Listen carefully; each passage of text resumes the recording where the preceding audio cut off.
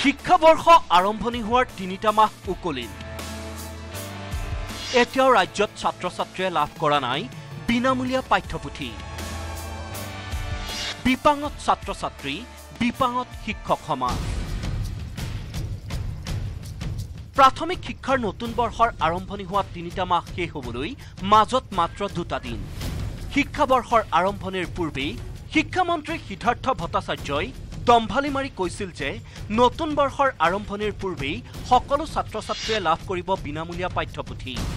কিন্তু শিক্ষামন্ত্ৰী সিদ্ধাৰ্থ ভট্টাচাৰ্যৰ ঘোষণা কথাৰ ফুলজাৰিত পৰিণত হ'ল। কিয়নো ৰাজ্যৰ বহু কেইখন বিদ্যালয়ৰ ছাত্ৰ ছাত্ৰীয়ে এতিয়াও লাভ কৰা নাই এখনো বিনামূলীয়া পাঠ্যপুথি। ৰাজ্যৰ আঠত্ৰিশ লাখ ছাত্ৰ ছাত্ৰীৰ চৌৱন্ন হাজাৰ ছাত্ৰ ছাত্ৰী বঞ্চিত বিনামূলীয়া পাঠ্যপুথিৰ পৰা। এই অভিযোগ উত্থাপন কৰিছে প্ৰাথমিক শিক্ষক সন্মিলনীয়ে। খাদ্য পৰিমিত বহুতো বিদ্যালয়ত গৈ কিতাপখিনি পোৱাগৈ নাই।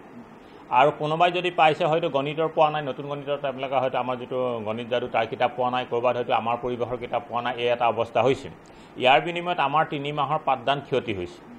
দ্বিতীয় এটা কথা যে আমি আজিৰ তাৰিখলৈকে বিদ্যালয়ত ছাত্ৰ ছাত্ৰীৰ কোনো অভ্যাসন মূল্যায়ন বহীখন পোৱা নাই কিয়? কিছু কিছু বিদ্যালয়ে পাইছে মাত্ৰ তিনিটা শ্ৰেণী পাইছে প্ৰথম আৰু দ্বিতীয় শ্ৰেণীৰ অভ্যাসন বহী পোৱা নাই।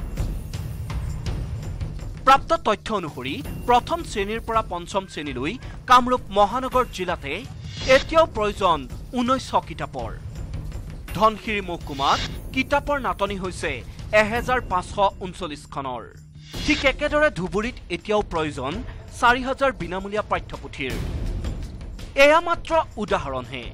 ইফালে প্ৰথম মূল্যায়নৰ বাবে মাজত মাত্ৰ দুটা দিন বাকী। কিন্তু কণ কণ বহু ছাত্ৰ ছাত্ৰীয়ে এতিয়ালৈ লাভ কৰা নাই মূল্যায়নৰ বহী।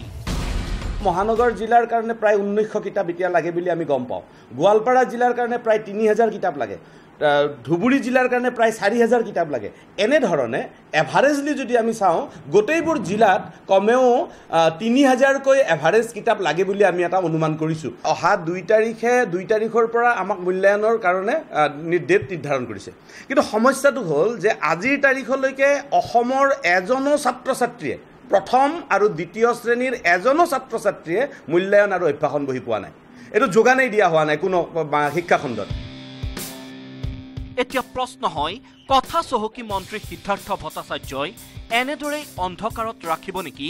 ছাত্ৰ ছাত্ৰী এই ক্ষেত্ৰত অসম প্ৰকাশন পৰিষদৰ ভূমিকাও ৰহস্যজনক। কেমেৰা পাৰ্চন হিতেশ ডেকাৰ সৈতে Hirakjyoti Malakar news eighteen Assam north east